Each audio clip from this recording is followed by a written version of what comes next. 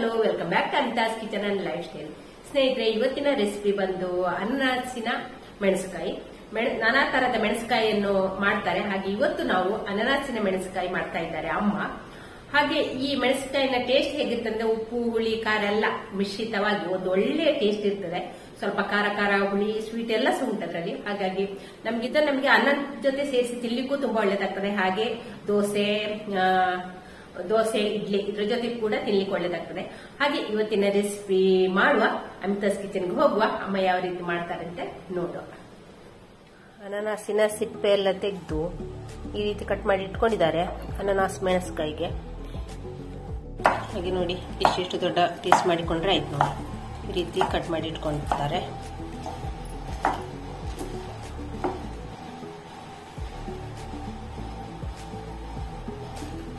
ನೋಡಿ.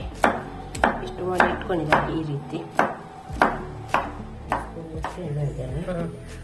ಒಂದು tea spoon ಅಷ್ಟು ಎಣ್ಣೆ, ತೆಂಗಿನ ಎಣ್ಣೆ ಹಾಕ್ತಾ ಇದ್ದಾರೆ ಇಲ್ಲಿ. ಇಲ್ಲಿ ಮಸಾಲೆ ನಮಗೆ ಇದು ಹುರಿಲಿಕ್ಕೆ. ಎಣ್ಣೆ ಸ್ವಲ್ಪ ಬೆಚ್ಚಗಾಗ್ಲಿ. ಇಲ್ಲಿ ಒಂದು ಏಳು ಮೆಣಸು ಹಾಕಿನಿ ಒಂದು ಆರರಿಂದ ಏಳು ಬ್ಯಾಡಗೆ ಮೆಣಸು. ಇದನ್ನು ಫಸ್ಟ್ ಈಗ ನಾವಿಲ್ಲಿ ಹುರ್ಕೊಳ್ಳುವ.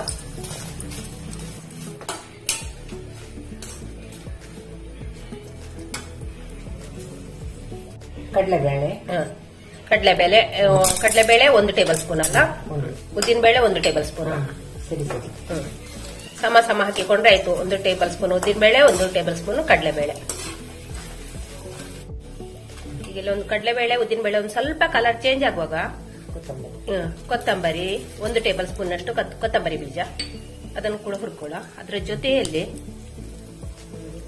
ಮೆಂತೆ ಎಂಟರಿಂದ ಹತ್ತು ಕಾಳು ಮೆಂತೆ ಬೀಜವನ್ನು ಕೂಡ ಇದರೊಟ್ಟಿಗೆ ಹಾಕಿ ಹುರ್ಕೊಳ್ಬೇಕು.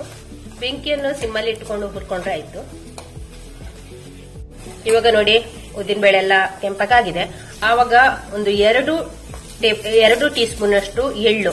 ಇಲ್ಲಿ ಕಪ್ಪು ಎಳ್ಳು ಹಾಕ್ತಾ ಇದ್ದಾರೆ. ಕಪ್ಪು ಎಳ್ಳು ಹಾಕ್ಬಹುದು ಇಲ್ಲ ಬಿಳಿ ಎಳ್ಳು ಕೂಡ ಹಾಕಿಕೊಳ್ಬಹುದು ಇದನ್ನು ಕೂಡ ಹುರ್ಕೊಳ್ಳೋ ಇದು ಸ್ವಲ್ಪ ಚಟಪಟ ಆಗ್ಲಿ.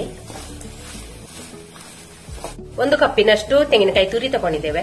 ಅದನ್ನು ಕೂಡ ಇದ್ರ ಜೊತೆಯಲ್ಲಿ ಹಾಕಿ ಕೆಂಪಕ್ಕೆ ಹುರ್ಕೊಂಡ್ರೆ ಆಯ್ತು.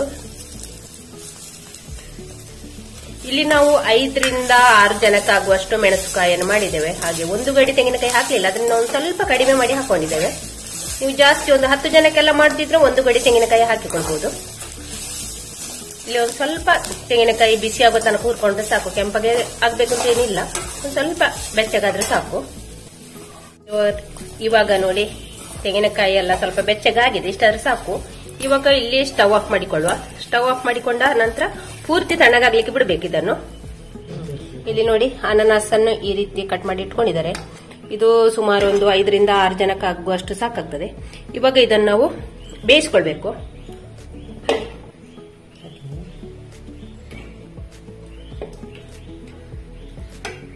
ಅನನಾಸು ಮುಳುಗುವಷ್ಟು ನೀರು ಹಾಕಿದ್ರೆ ಆಯ್ತು. ತುಂಬಾ ನೀರು ಹಾಕಿ ಬೇಯಿಸಿಕೊಳ್ಳೋದು ಬೇಡ. ಅನನಾಸ್ ಇದ್ದು ನೀರು ಕೂಡ ಬಿಡ್ತದೆ. ಮತ್ತೆ ಸ್ವಲ್ಪ ಇಲ್ಲಿ ನಮಗೆ ಮೆಣಸುಕಾಯಿ ಉಂಟಲ್ಲ, ಸ್ವಲ್ಪ ದಪ್ಪಕ್ಕೆ ಬೇಕು. ತುಂಬಾ ತೆಳ್ಳಗೆ ಮಾಡ್ಲಿಕ್ಕಲ್ಲ. ಹಾಗೆ ಇನ್ನು ಇದನ್ನು ಬೇಯಿಸ್ಕೊಳ್ಳ ಇವಾಗಲೇ ಮೊದಲೇ ಇಲ್ಲಿ ಉಪ್ಪು ಹಾಕಿ ಬೇಯಿಸಿಕೊಳ್ಳೋದು ಬೇಡ. ಅನಾನಸ್ ಬೆಂದ ನಂತರ ನಾವು ಇಲ್ಲಿ ಉಪ್ಪನ್ನು ಸೇರಿಸಿಕೊಳ್ಬಹುದು ಇನ್ನು ಇದನ್ನು ಸ್ವಲ್ಪ ಹೊತ್ತು ಮುಚ್ಚಳ ಮುಚ್ಚಿ ಬೇಯಿಸ್ಕೊಳ್ಳ ಈಗ ಇಲ್ಲಿ ನೋಡಿ, ಮಸಾಲೆ ಎಲ್ಲ ತಣ್ಣಗಾಗಿದೆ. ಇನ್ನು ಇದನ್ನು ಮಿಕ್ಸ- ಮಿಕ್ಸರ್ ಜಾರಿಗೆ ಹಾಕಿಕೊಳ್ಳುವ.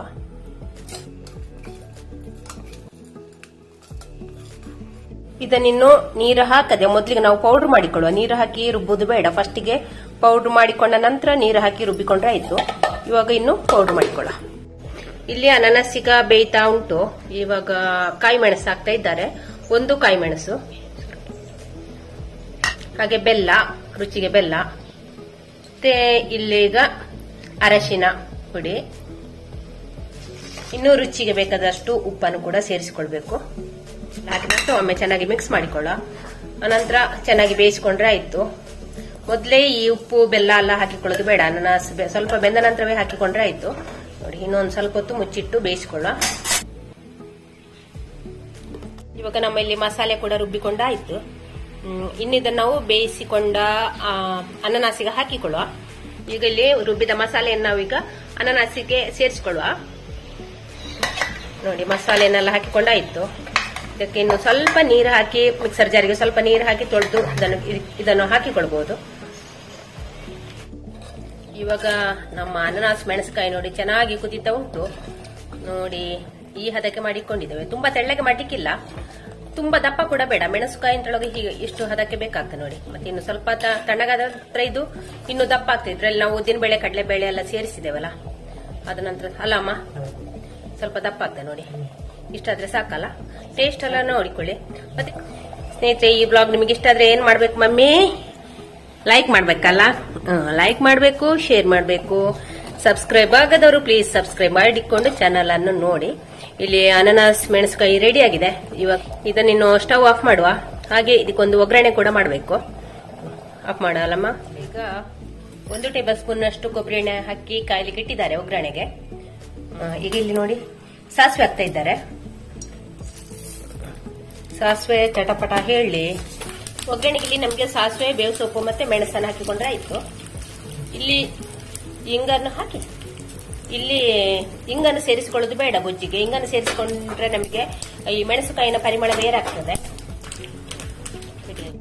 ಈಗ ನಾವೀಗ ಒಗ್ಗರಣೆಯನ್ನು ಇದಕ್ಕೆ ಹಾಕಿಕೊಳ್ಳೋ